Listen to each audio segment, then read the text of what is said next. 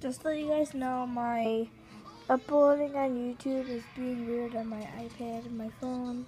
Well, not my phone. I just can't send it because it's not being weird. So I just gotta play from here. So yeah, this is my drawing of Lilliput. Hi guys, it's me, Butterfinger. And today I will be showing you my drawing of Lilliput.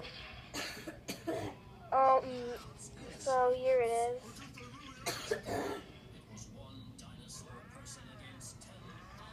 It took me a long time to draw because I need to get the background, and I made the background, everything. And that's why I wrote this icon now. So, just saying, here's what her drawing is like. I hope you guys like it.